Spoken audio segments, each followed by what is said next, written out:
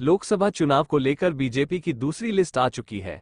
पहली लिस्ट में केंद्रीय मंत्री नितिन गडकरी का नाम सामने नहीं आया था, जिसे लेकर कई सवाल खड़े किए जा रहे थे।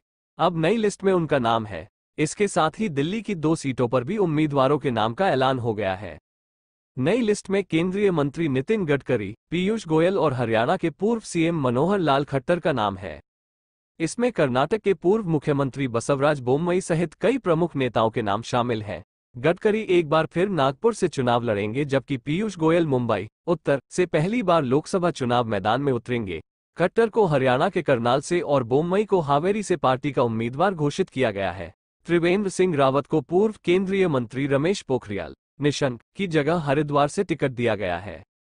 केंद्रीय मंत्री अनुराग सिंह ठाकुर एक बार फिर हमीरपुर से, प्रहलाद जोशी कर्नाटक के धारवाड़ से भगवंत खूबा महाराष्ट्र के बीदर और भारती प्रवीण पवार डिंडोरी से मैदान में होंगे।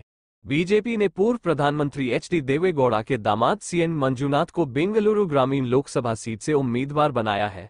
उनका मुकाबला कर्नाटक के उप मुख्यमंत्री डी के शिव कुमार के भाई डी के सुरेश से होगा। बीजेपी के मुख्य प्रवक्ता और राज्यसभा सदस्य अनिल बलूनी को उत्तराखंड के पौड़ी गढ़वाल से उम्मीदवार बनाया गया है। बीजेपी ने पूर्वी दिल्ली से गौतम गंभीर की जगह हर्ष मल्होत्रा और उत्तर पश्चिम दिल्ली से हंसराज हंस की जगह योगेंद्र चंदौलिया को उम्मीदवार बनाया है। पार्टी ने इससे पहले दिल्ली की पाँच में से चार सीट पर मौजूदा सांसदों के टिकट काट दिए थे। सिर्फ़ मनोज तिवारी को दोबारा उत्तर पूर्वी दिल्ली से उम्मीदवार बनाया था।